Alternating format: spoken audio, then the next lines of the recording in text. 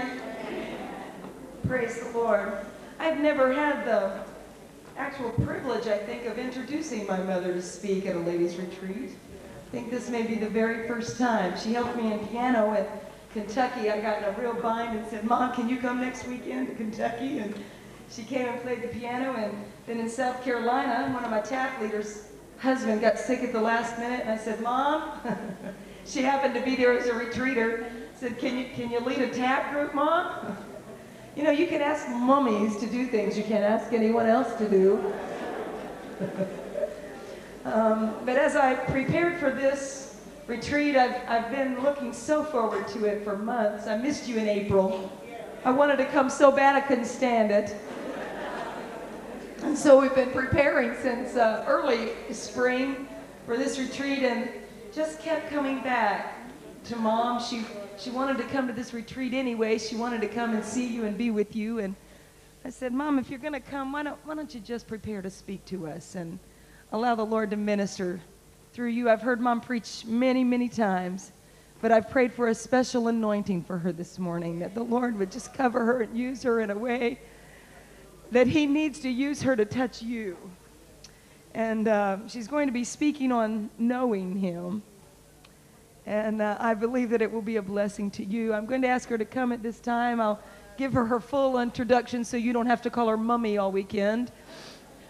Gayle Harris, and she comes to us from Norfolk, Virginia.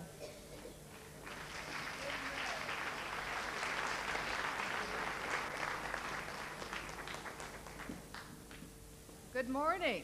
Good morning. I came to my room yesterday and I saw this lovely fruit basket filled with strawberries and plums and peaches and apples and grapes. And I said, I don't know anybody in London. The Lord must have sent it. Thank you. Whose ever hands brought it in his name. I shared it with my neighbors, and there's still some left. You're welcome to stop by my room and share some.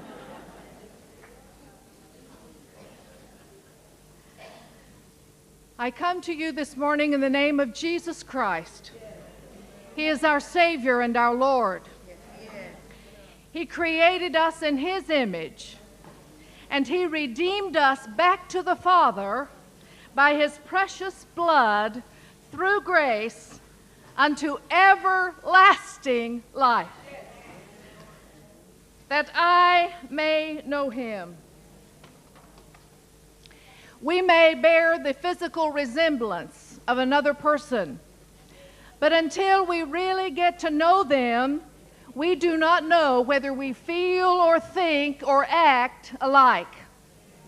And in order to be in His image today, we must first know Him.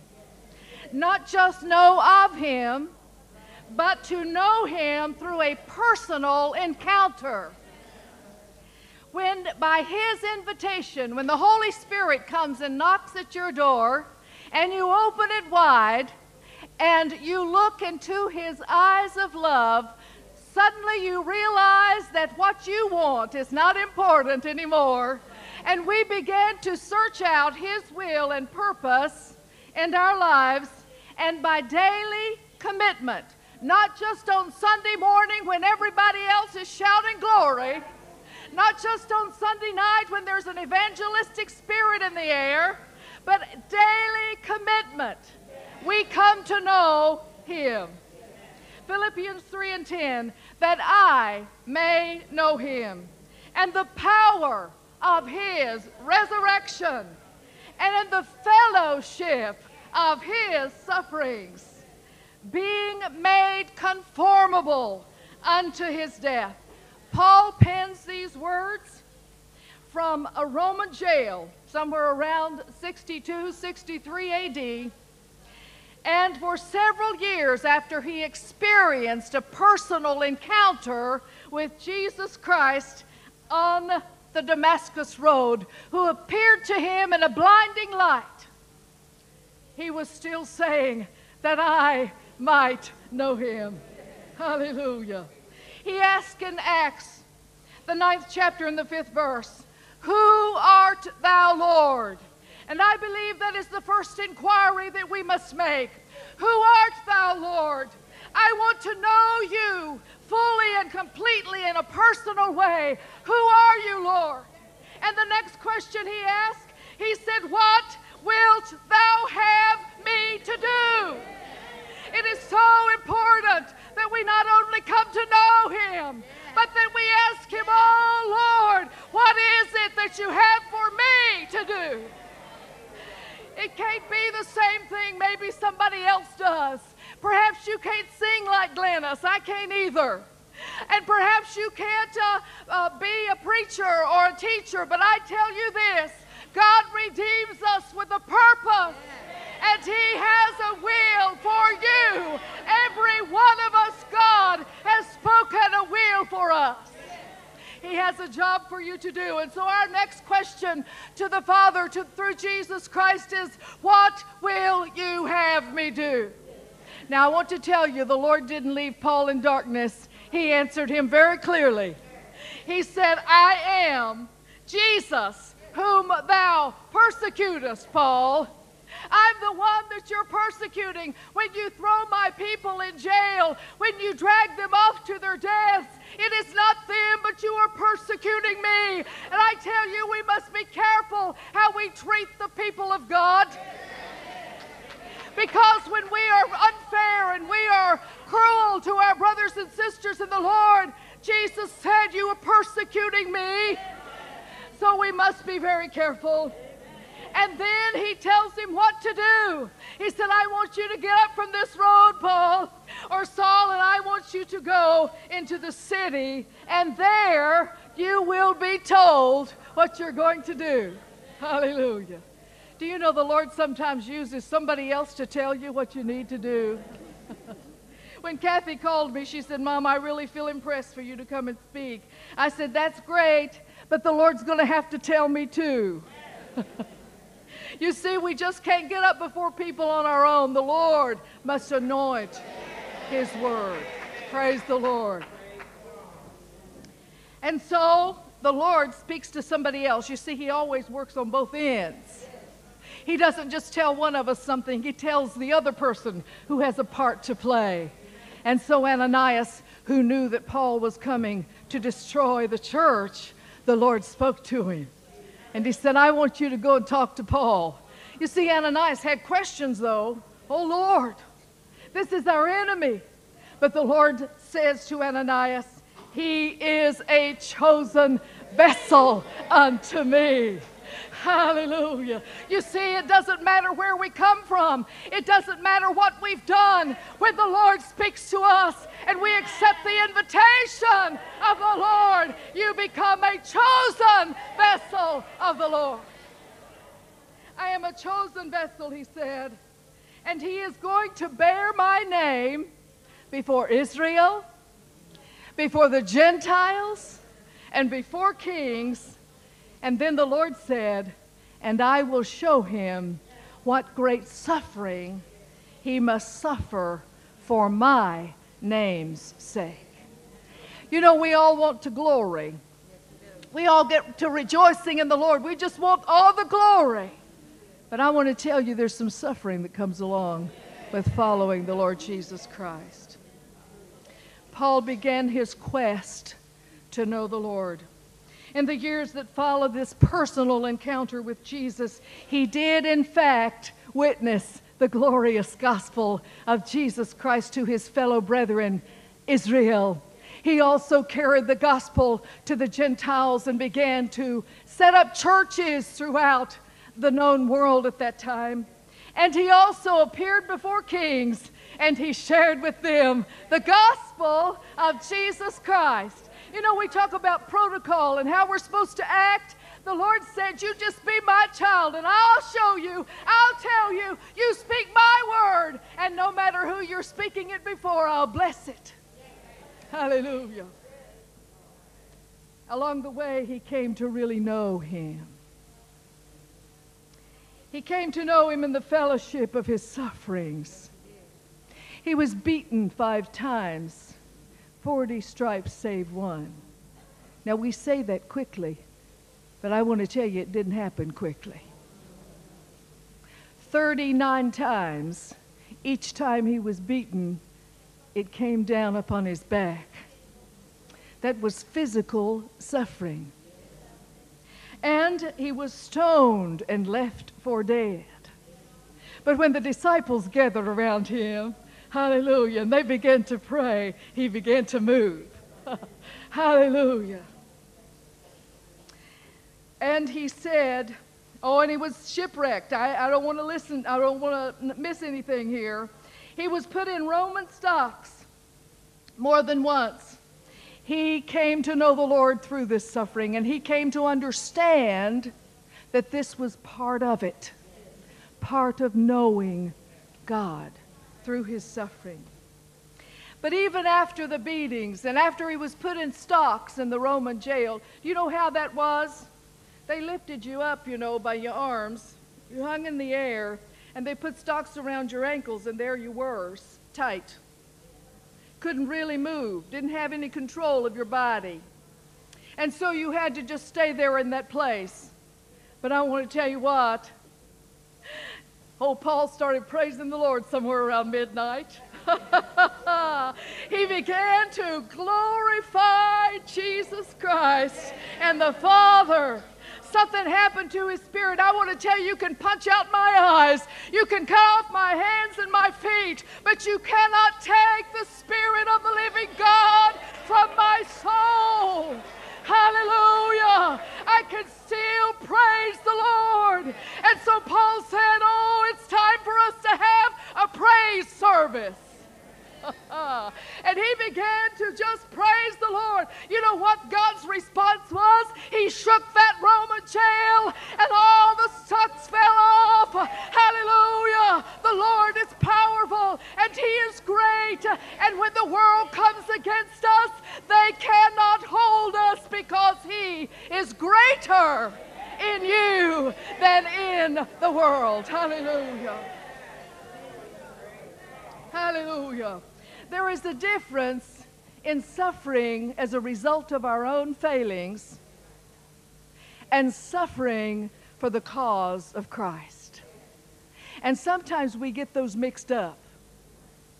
But I believe that when we suffer for Jesus Christ, there is a joy that comes with that.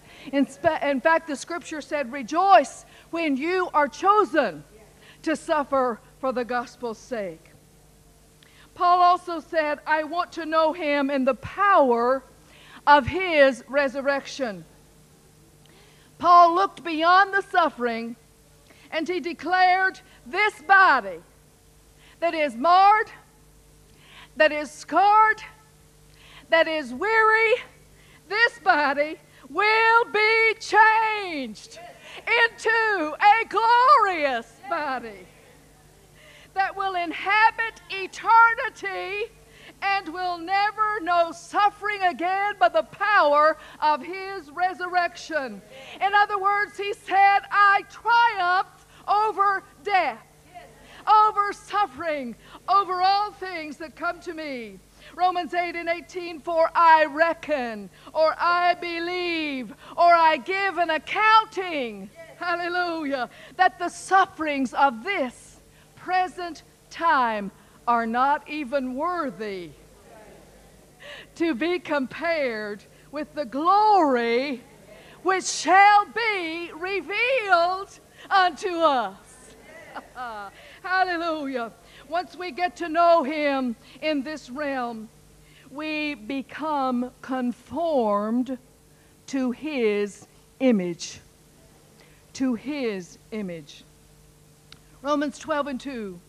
Be ye not conformed to this world, but be ye transformed, transformed, changed by the renewing of your mind, that you may prove, listen, that you may prove. As your, the renewing of your mind takes place, and you become a changed person through Jesus Christ the Lord, something happens to your personal life, and you may prove. You show it to the world what is the good and the acceptable and the perfect, not your will, but whose? Will of God. What is that good will in your life? What is that perfect will of God in your life? Now, I think that comes kind of in steps to us because it takes us a while to get all that old self will out of the way. and so we show to the world Jesus Christ in us as we allow His will, His good, His acceptable, and His perfect will to operate in our lives. Let me tell you, this has got to work all the time. It is no good if it just works part time. It must work all the time. That we commit our will to the will of the Lord. The transformation begins by the renewing of our mind, and all things become new. Let me tell you, the me first attitude gets lost in Jesus Christ. We cannot say, I want my way anymore. we must say, Lord, wherever you take me, whatever you want me to do, that's what I want to do. The treasures of this world become secondary. Secondary in our minds and our thinking. Now, we all have to do things, and we all have to have some things along the way, but that must not ever become the priority. He must always be first. And once we come to know Him in that way, we can truly sing that song we sang last night together. The things of the world, strangely dim, in the light of His glory and grace. Hallelujah. The closer we get to that glory that Paul talked about, everything else recedes, and we begin to only see and want and want, desire the glory of the Lord in our life. Paul says in Philippians 3 8 and 9, I count all things but loss for the excellency. That word means not mediocre, not just part the way, not just a little bit, but it means excellent. To know Him, to understand Him. I want to lose all things, everything else that would hinder me to knowing Him in excellency, the very best that I can know Him of the knowledge of Christ. For whom I have suffered all things, but now listen to this, and do count them as dung, that I might win Christ and be found in Him. Hallelujah. Nothing else is important to Paul. I believe we must have this mind, believers, that Jesus is first and we want to become excellent soldiers of the cross for Christ. I might excel in him. Paul, the Hebrew of Hebrews, a Pharisee, stock of Israel, tribe of Benjamin, Roman citizen, student of the renowned teacher Gamaliel, and as touching the law, the scripture said, blameless. He was elevated to recognition by man. His credentials were of the highest order. But he says, I count all things lost. Hallelujah. I want to excel in Christ and more than anything else in the world to be found in Him. Are you in Him this morning? Hallelujah. When He looks down upon you, are you found in Him today? Hallelujah. Let's just praise Him. Praise the Lord. Praise the Lord. Praise the Lord. Hallelujah. To be found in Him. Now, in 2 Corinthians, Paul brags a little bit about his family tree. I'm going to read a portion of that scripture, uh, 4 and 4. Paul, Paul speaks of Christ. He says, Who is the image of God? Who is the image of God? And I want you to turn to Colossians, the first chapter. And I want us to read together the 13th through the 15th verse.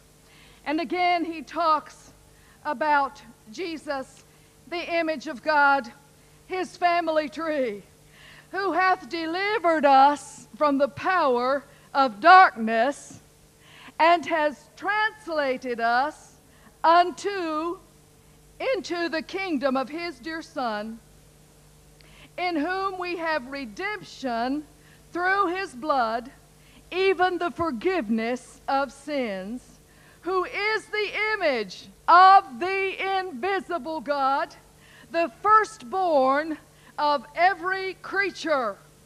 It is through him that we are redeemed today. We stand justified in his righteousness, not because we're good, not because we're worthy, but because the precious blood of Jesus Christ has been applied to our lives. So Paul tells us that we, that Christ is in the very image of God. Matthew 14, 9 and 10, Jesus says to Philip, He that hath seen me hath seen the Father. There was a great mystery. People wanted to know more about the Father. And so Jesus said, If you've seen me, you have seen the Father. I am in the Father, and the Father is in me. I speak not of myself. Now, this is the very Son of God. I speak not of myself, but the Father who dwelleth, abideth, liveth in me. He doeth the works. We must not take or even think of taking away the glory and the power of the Lord by taking any credit. You see, Jesus didn't even do that. He said, I came to do what the Lord, my Father, asked me to do. And whatever works I do, He does it in me. you see, if there's any success in this, in this work of the Lord, it is because the Lord does it through your vessel. It is because His power operates through you. And then comes the success. We cannot build ourselves up. We must not. It is the glory of the Lord and the power of the Lord. And so he said, We are what? Of one spirit. Do you know that the unity of the Spirit is what makes this thing work? We must be in unity. We must lose sight of everything else except the Spirit and the power of the Lord that works in us and in the body of Christ. We must be of one mind, of one spirit, of one purpose. My Father and I are. Hallelujah. Whatever my Father wants, I'm going to do. I believe that we need to know whatever the Lord wants us to do, we need to say, I'm going to do it. I want to do it wherever it takes me. Whomever I come in contact with, I want to have the mind of God to do His will. Hebrews 10 and 9 declares the mission of Christ in the earth. Then said he, Lo, I come to do thy will, O Lord. He taketh away the first sacrifice. This is in Hebrews 10 9 through 12. He taketh away the first sacrifice that he may establish the second. The Lamb of God that taketh away the sin of the world. Of the world. Everyone is, can be covered with his blood. Praise the Lord. It is perpetual. What does that mean? Once and for all. Those of you who are in Weston Hall, the great gold pendulum that swings back and forth. I know you've noticed it. I was kind of mesmerized by it when I first came in. I go out each morning and watch it swing. I go down and see if it's moved any. You know, there's, a, there's this um, circular piece, and, and uh, as the earth rotates on its axis, that moves a little between those two curves that you see. There was a theory by Foucault, our French ladies told me how to pronounce that word this morning. And he discovered, he was a great scientist and journalist, and he discovered that you could hang the pendulum and set it in motion, and it would stay that way without stopping. It is perpetual motion. The Duke of, um, let me get it right, uh, Edinburgh, Prince Philip, in July 31, 1992, set that pendulum in motion. It's been going ever since. And unless somebody stops it deliberately, it'll keep on going as long as the earth turns as, the, as long as the earth rotates. But I want to tell you something. Hallelujah.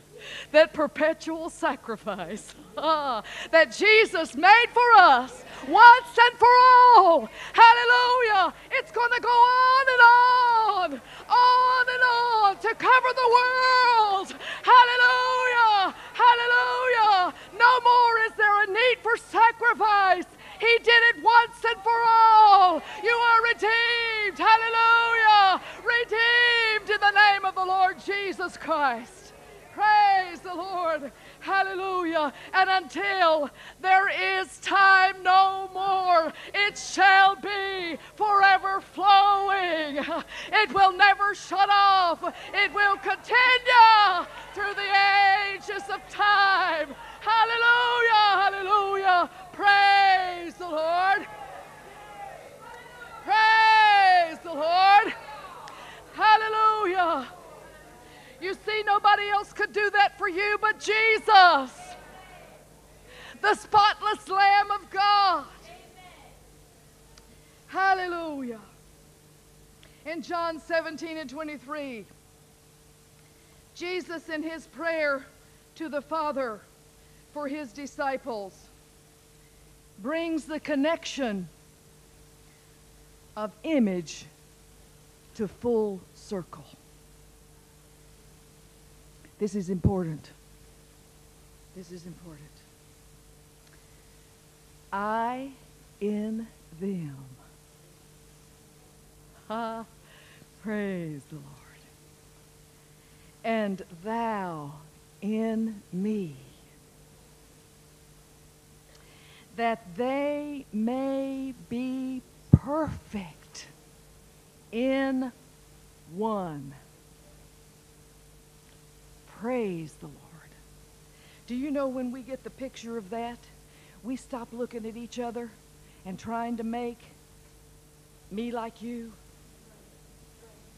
you like me. We lose sight of that. Doesn't matter. Doesn't matter what you look like. Doesn't matter where you're from. Doesn't matter what language you speak. Oh, hallelujah. Hallelujah. For we bear the image of Jesus Christ, the Lamb of God.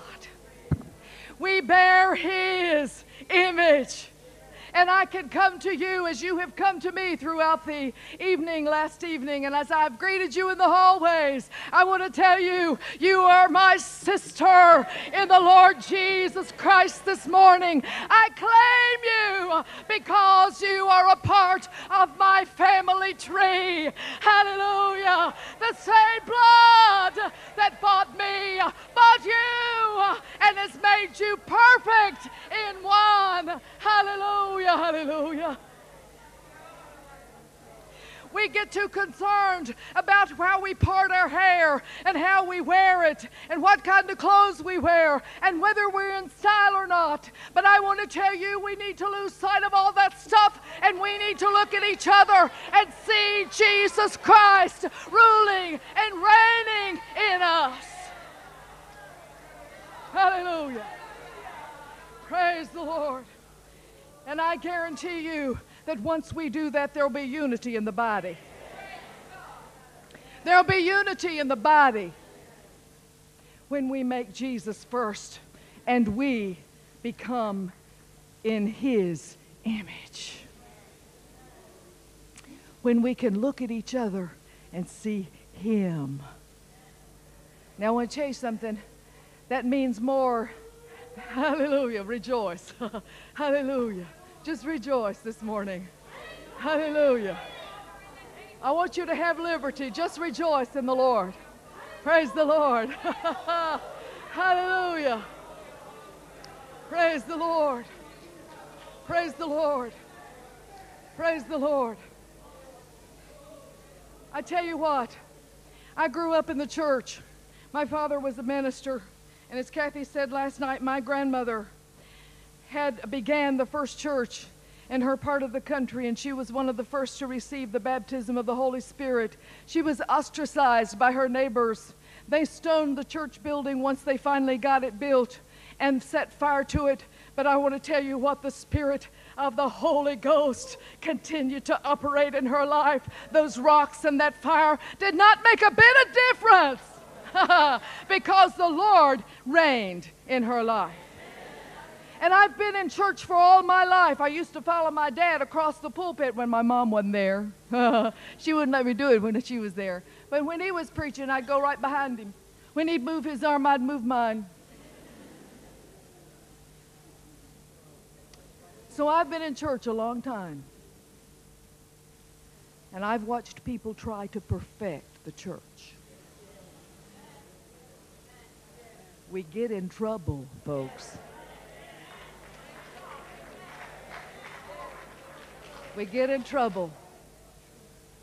Because, see, the only perfect one. Hallelujah. Hallelujah. Hallelujah. Praise the Lord. Aren't you glad we can't do it? Aren't you glad He's the only one who can? But I want to tell you, He sent the Holy Spirit. And the Holy Spirit does what the Father and the Son tell Him to do. See, they're three in one. They all are of one mind, one spirit. They're all in one. And so when the Holy Spirit moves among us, He begins to root out all that stuff that's not like the Lord. He begins to bring us to an understanding of His Word. We no longer listen to what Sister so and so interprets, but we begin to listen with a spiritual ear to what thus saith the holy word of God by the interpretation of the Holy Spirit of the Lord that lives in us. You see, He has taken up residence, He abides inside.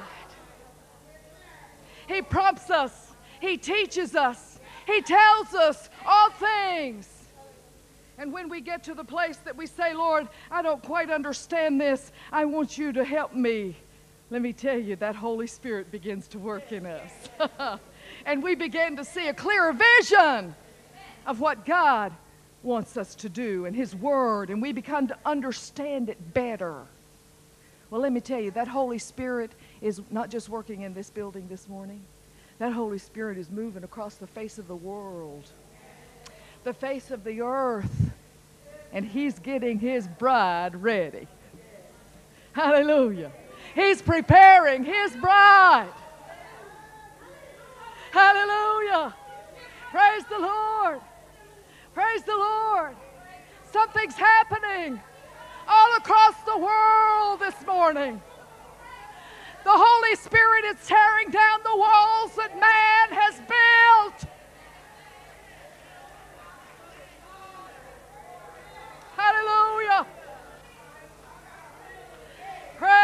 Hallelujah. the man built walls.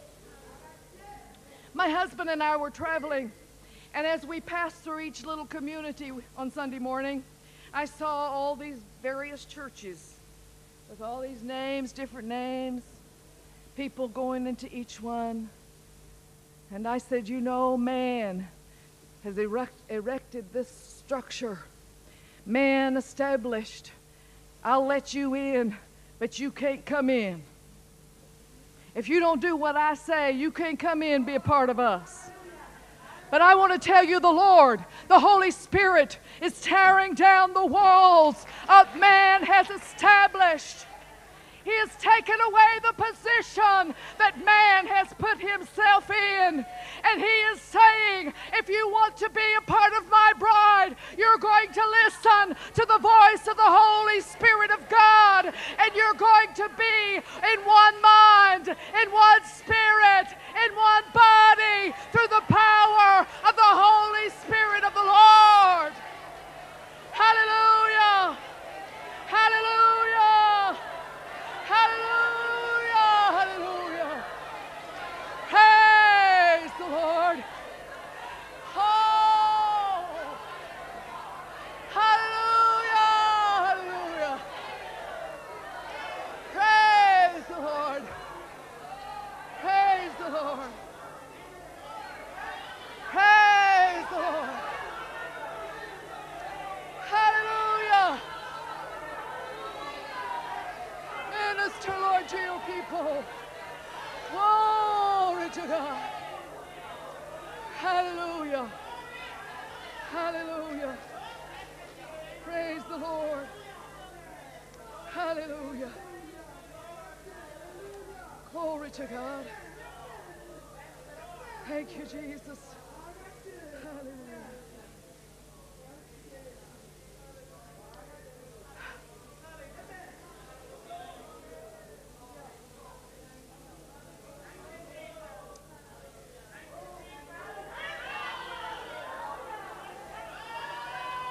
Praise you, Lord. Hallelujah. Work a work in Jesus' name. Hallelujah.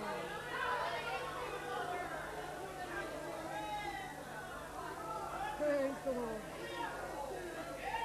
Thank you, Jesus.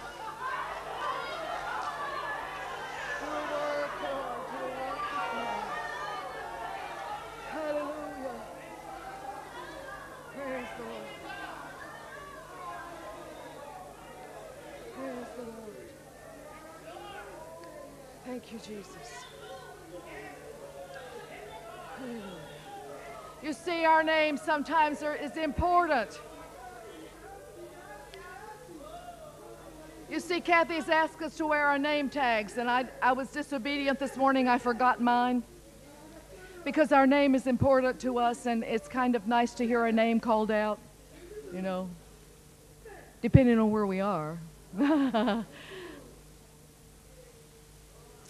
but I want to tell you, we know no other name but Jesus.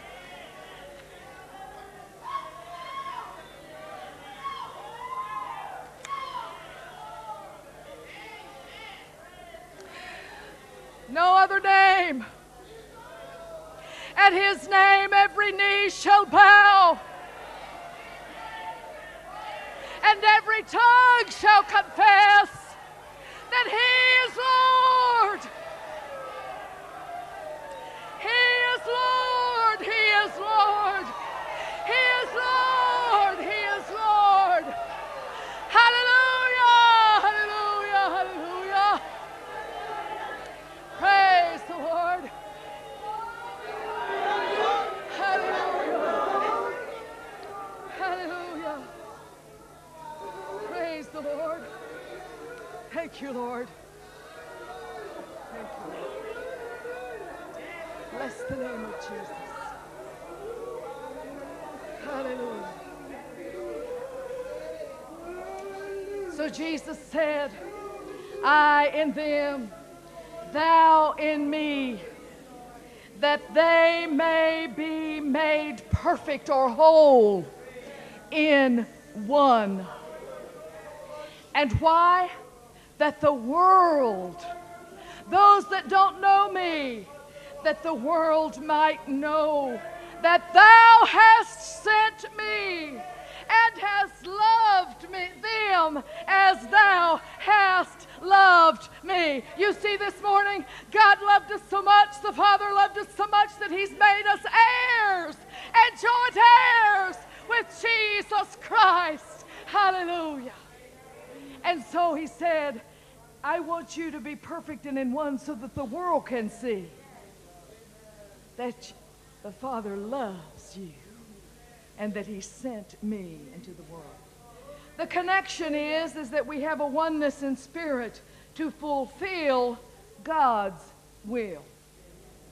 Now I have never played politics in church. I never will. I don't believe in it. I don't believe in it.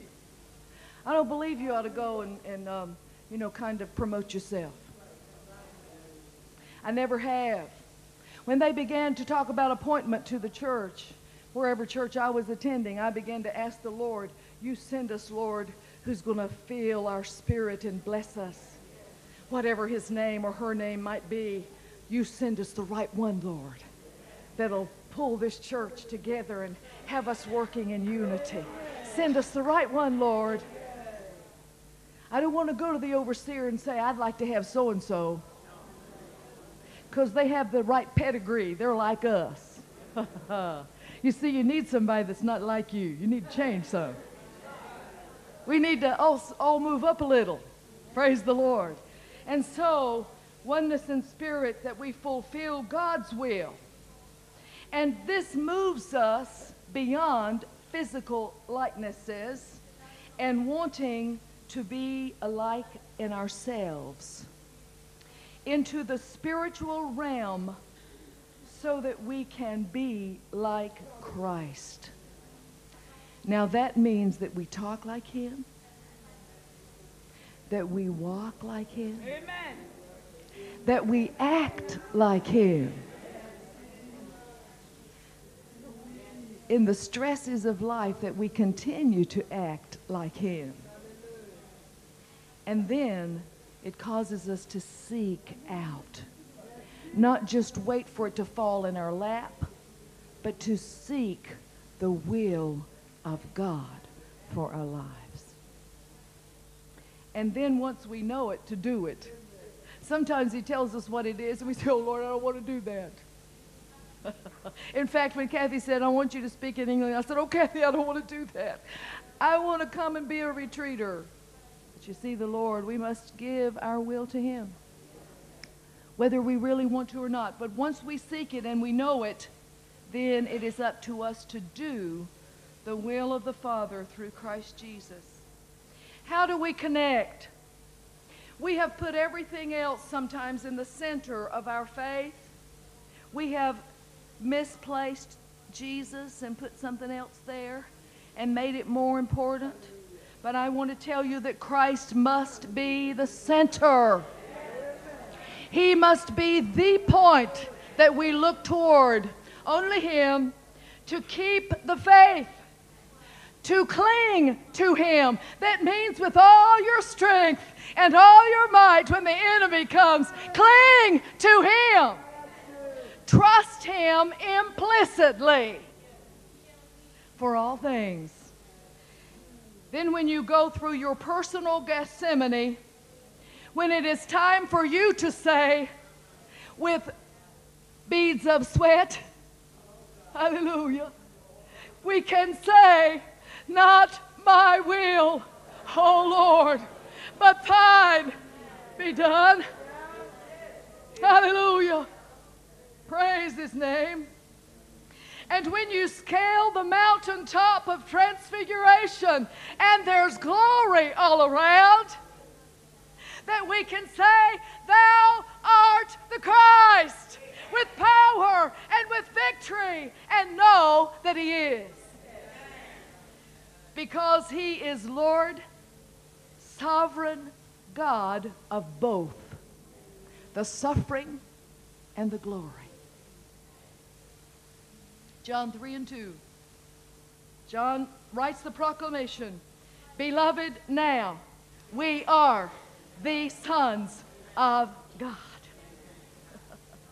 we take on His characteristics. His love reaches and touches the lonely through us. His long suffering and humility tempers our impatience and pride.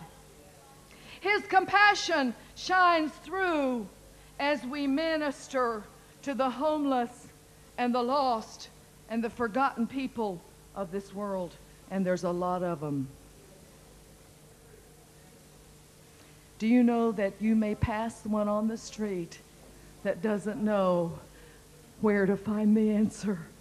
And you have the answer to share. It is Jesus Christ in us. Hallelujah. John goes on to say, We don't know what we're going to look like, but we know when we see him, we're going to be like him.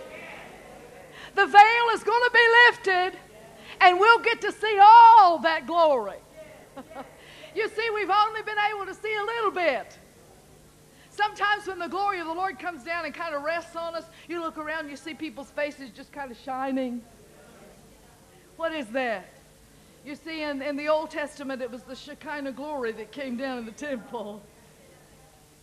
On the top of the mountain with Moses, as he came down, his face shone so much they had to put a, a veil over him because the people couldn't stand to look at him because he'd been close to the glory of the Lord. But oh, hallelujah. These eyes are going to become spiritual eyes. We're going to get to see him like he is. It's not going to be in part anymore, but we're going to be like him in the fullest extent. You see, that's why we have to get to know him here. So we'll be comfortable with him there. we become comfortable with each other as we get to know each other. Well, we, we need to get to know him here. You see, the Lord wants to look down. Jesus wants to look down and see himself. He wants to look at you this morning and see himself. Remember our um, devotion last night. To be the mirror image of Jesus Christ. He wants to look at us and see himself in us. Hallelujah. We need more than anything else to desire to be in his image. Pascal, one of the greatest minds of the mid 17th century, he was acclaimed for many learned theories and inventions. He was recognized as a great physicist and mathematician. He made the first calculator ever made. He searched for absolutes in science, but he never found it.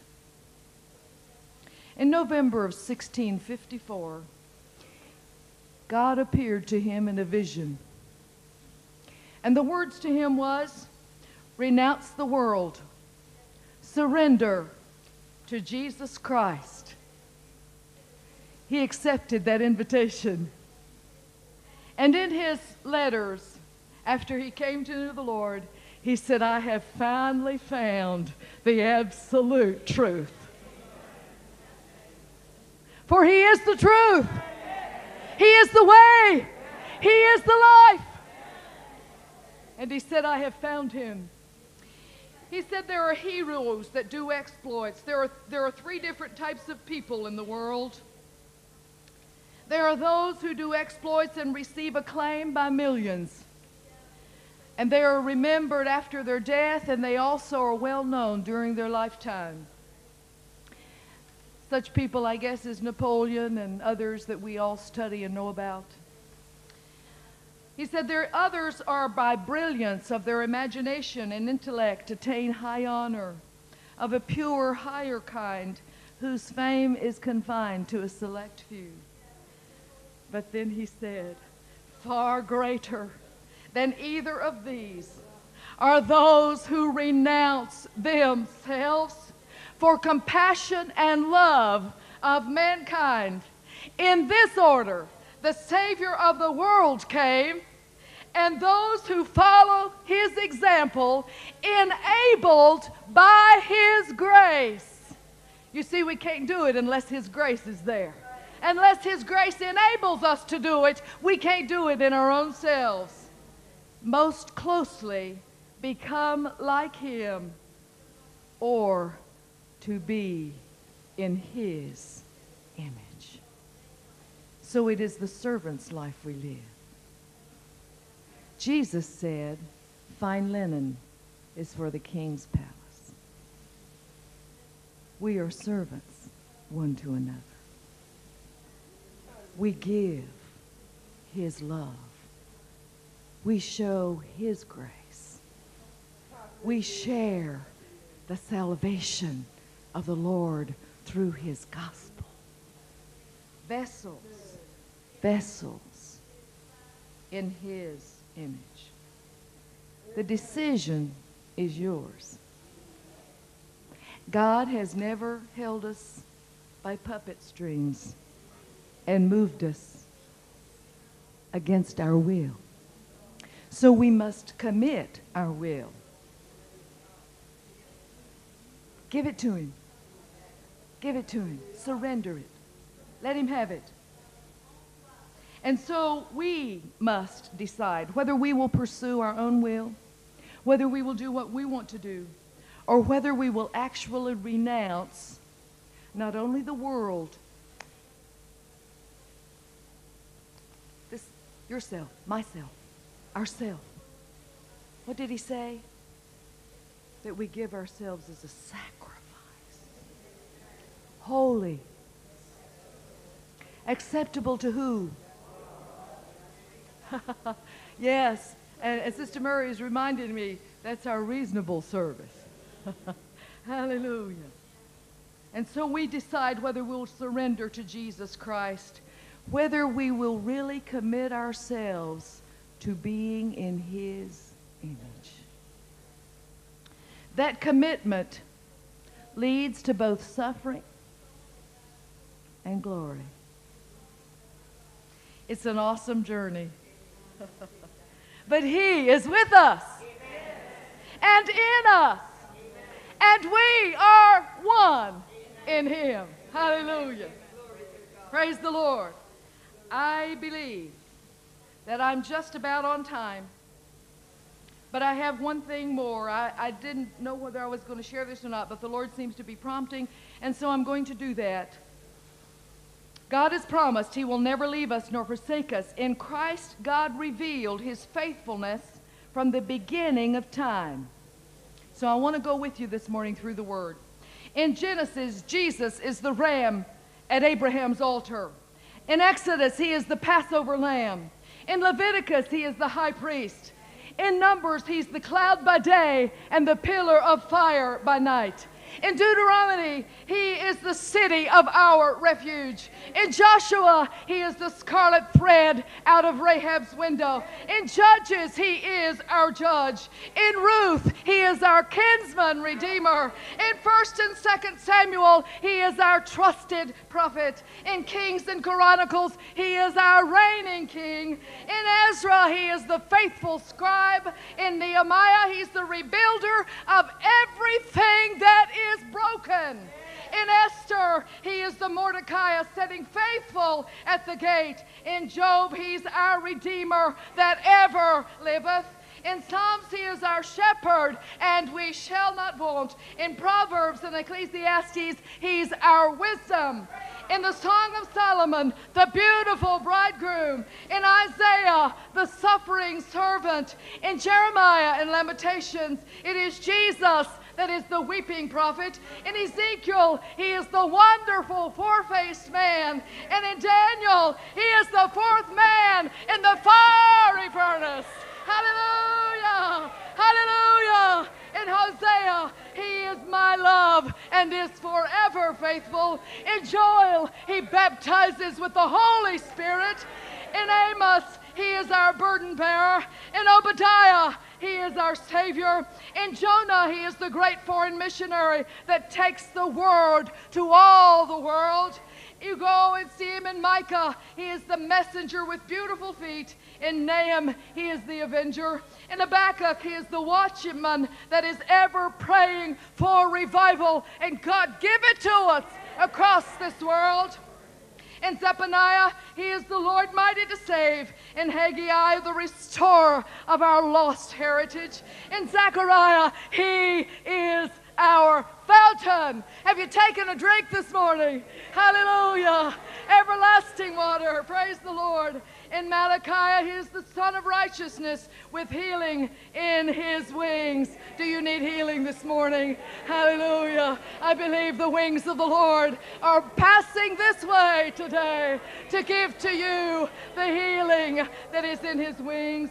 In Matthew, thou art the Christ, the Son of the living God. In Mark, he is the miracle worker. In Luke, he is the Son of Man. And in John, he is the door by which every man must enter. In Acts, he is the shining light that appears to Saul on the road of Damascus. In Romans, he is our justifier. In 1 Corinthians, our resurrection. In 2 Corinthians, our sin bearer. In Galatians, he redeems us from the law. In Ephesians, He is our unsearchable riches. In Philippians, He supplies our every need. In Colossians, his, He's the fullness of the Godhead bodily. In 1st and 2nd Thessalonians, He is our soon coming King. Do you believe it this morning? Hallelujah. He is our soon coming King.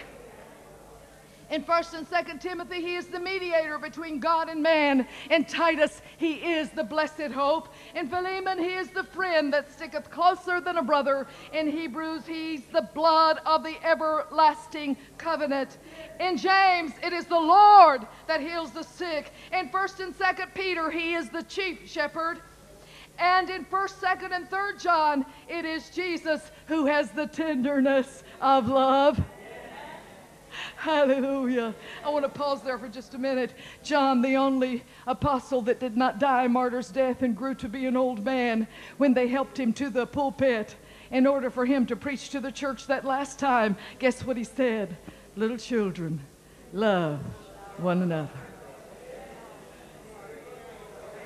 Hallelujah. Hallelujah. Hallelujah.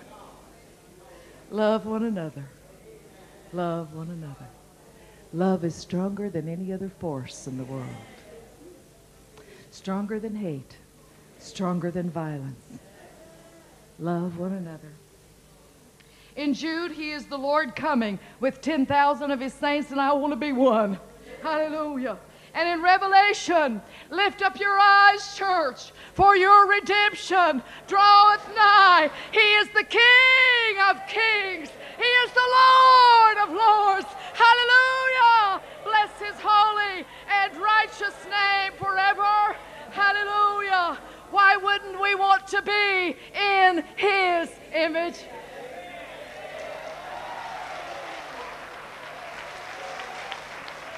Hallelujah.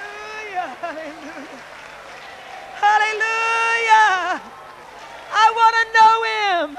I want to know him in the power of his resurrection, in the fellowship of his suffering, being made conformable unto his death. I want to know him this morning. I believe he's in this place. I believe he's passing by us. Hallelujah. I don't want him to pass by without me taking him to myself and saying, Lord, I want to know you more. I want to know you more. I want to know you more. Hallelujah. I invite you this morning to stand in the presence of the Lord God Almighty and take him unto yourself as he takes you unto himself. Father, this morning, the Lord is in this place. The Lord is in this place. The Lord is in this place and we are your daughters. You recognize the daughter of Israel. You called her, hallelujah, and you recognize us this morning. You are our God, hallelujah. And we want to know you. We rejoice in you. We rejoice in you. We rejoice in you. Hallelujah, hallelujah, hallelujah. Lord, herein is love. Not that we necessarily loved you, but that you loved us and sent your Son to be the propitiation for our sins. Glory to your name. Glory to your name. Glory to your name. Glory to your name. Hallelujah. Hallelujah. Hallelujah. Hallelujah. Hallelujah. Glory to your name. Glory to your name. Glory to your name. Glory to your name. Glory to your name. Glory to your name. Hallelujah. Thank you, Lord. Thank you, Lord. Thank you, Lord. Thank you, Lord. Thank you, Lord. He is the pourer out this morning. Thank the Lord. Thank the Lord. Thank the Lord. The word says he's the glory and the lifter of our head. I think about how he passed that woman that was bent over in Israel that morning. It was the Sabbath. but he looked at her and he recognized her over the day, over the Sabbath. And in her bent over shape, he reached down and touched her and gave her dignity and allowed her to stand. And when those around him questioned him and condemned him, he said, This is a daughter of Israel. it's the only place in the whole Bible where the woman was recognized as a daughter of Israel, laying the same claims to the kinship and the family of God. This morning, he walks through this place and he recognizes you as the daughter of God. Hallelujah. He is the glory and the lifter of my head. Hallelujah. Hallelujah. Hallelujah. Lord, we want to know you. We want to know you. We thank you for this word that has gone forth this morning. We pray, Lord, that as you have anointed the word, as you have anointed this vessel, that you would continue to work up the ground, work up the dirt, work up the soil, and plant that seed deep, Lord, in that rich soil of our soul and our spirit, and allow it to spring forth into life, and allow it to bring forth the fruit that you so desire. Glory to your name. Glory to your name. Glory to your name. Hallelujah. And they all said, Amen. Amen. And amen.